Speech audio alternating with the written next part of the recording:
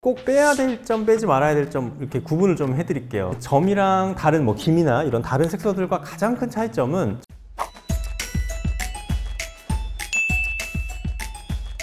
안녕하세요. 피부텐텐 피부과 전문의 김한나. 김종식입니다. 네, 오늘의 주제는 바로 점빼기인데 피부과에서 가장 대중화된 시술 중 하나가 바로 점빼기잖아요. 잘 모르는 분들 입장에서는 이게 점인지 아닌지 구분이 어려우니까 그런 거에 대한서도 좀 설명이 필요할 것 같고 오늘은 특별히 흉터까지 없애는 방법 끝까지 다 알려드리도록 하겠습니다. 점이 뭔지부터 알아볼 건데 혹시 말씀해 주실 수 있을까요? 김인지 뭐 주근깨인지 점인지 점이 맞긴 한 건지 아니면 사마귀도 있을 수 있고요. 뭐 비립종 같은 것도 많고 또 어떤 경우에는 피부 암인 경우도 있어요. 그래서 이런 거를 진단을 하는 게 사실 제일 먼저거든요. 이게 진짜 점이 맞는, 맞으면 뭐 점을 빼면 되는 거고 점 이외에 다른 거라면 또 다른 방법으로 치료를 해야 되는 거고 사실 구분을 해주는 역할을 하는 게 저희 피부과 전문의의 역할이라고 생각해요. 사실 점인지 진단부터 하는 게 중요한데 그걸 이제 궁금해 하시는 분들이 많아요. 기미는 뭐 이렇게 이 레이저를 하면 안 되고 점은 뭐 이렇게 빼야 되고 꼭 음. 그렇게 구분을 해야 되는 이유가 있나요? 어, 제가 그 얘기를 드리고 싶어서 사실 이 영상을 만든 것도 있는데 점이랑 다른 뭐 김이나 이런 다른 색소들과 가장 큰 차이점은 점이라는 거는 점세포 자체가 뭉쳐서 이게 하나의 둥지를 만들고 있다는 그래서 이 둥지 세포 자체를 파괴하지 않으면 점을 없앨 수는 없거든요 근데 반대로 김이나 뭐 다른 색소들 같은 경우에는 그 세포가 막 이렇게 늘어나서 뭔가 둥지를 만들었거나 그런 형태를 만든 게 아니라 그냥 자외선을 보고 노화가 되면서 그냥 자연스럽게 색소가 그냥 진해진 것 뿐인 거죠.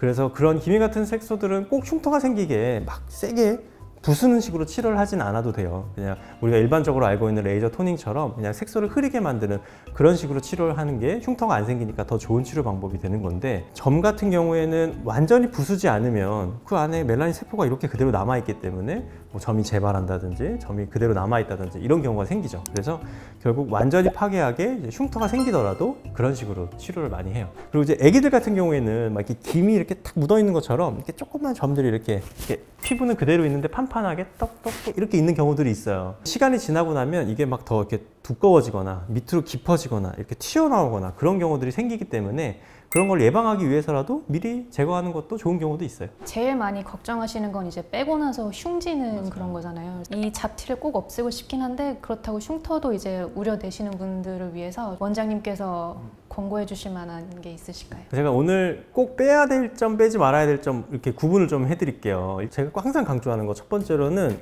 얼굴에 특히 팔자주름 주변이나 여기 인중 주변 아니면 이런 턱 주변 이런 데에 있는 점들은 여기는 움직임이 엄청 많은 위치거든요. 막 밥도 먹고 말도 많이 하고 그래서 이런 데 잘못 빼면 오서방처럼 옛날에 그런 흉터가 생기는 경우가 되게 많아요. 오서방이 누구예요? 아 오서방 모르세요? 코 옆에 이렇게 점난 사람. 아, 아 이렇게 세대 차이가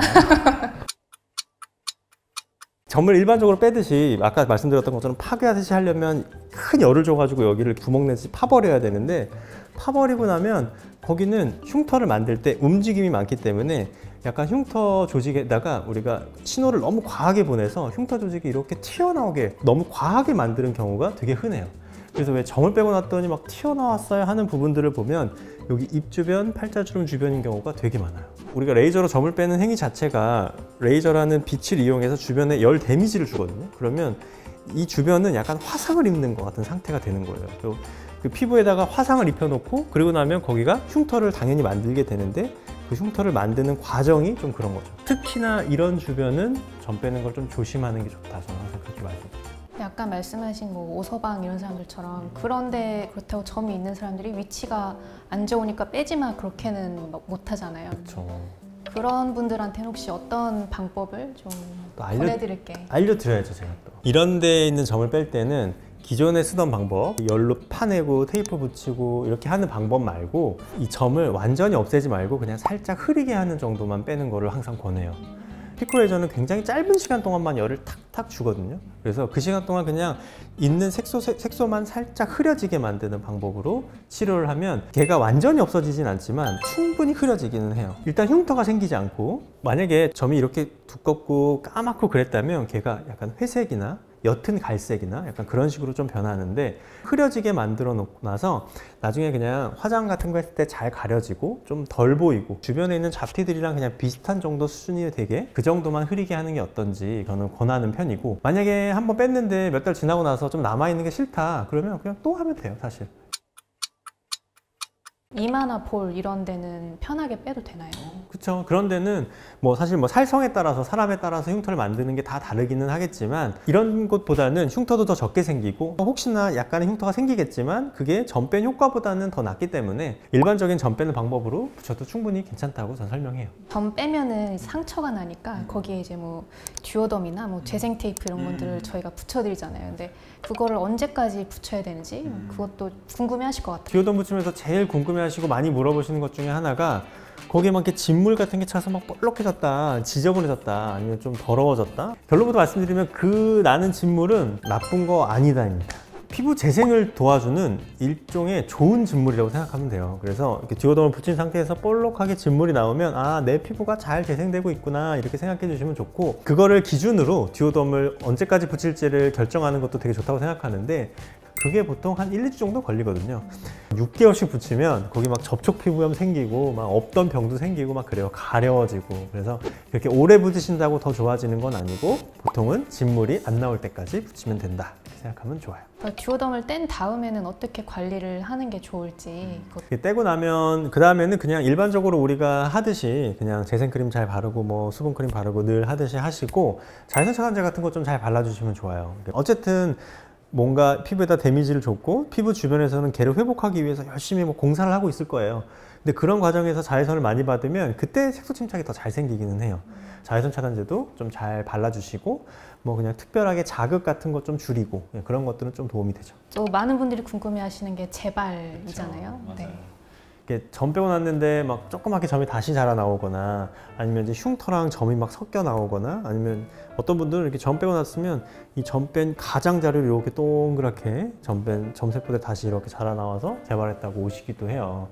재발도 흔하기도 하고 점세포라는 게 눈에 다 보이는 게 아니기 때문에 아무리 제거를 해도 눈에 보이지 않는 점세포들이 남아서 재발하는 일은 너무 흔하고 저는 요즘에 더더욱 꼭 그 점을, 점을 막 없애려고 그렇게 하는 것보다는 그냥 흐리게 만들고 그냥 안 보이는 정도 그냥 좀 덜 보이는 정도로 그냥 그렇게 치료하는 거를 좀 더 권하게 되는 편이에요.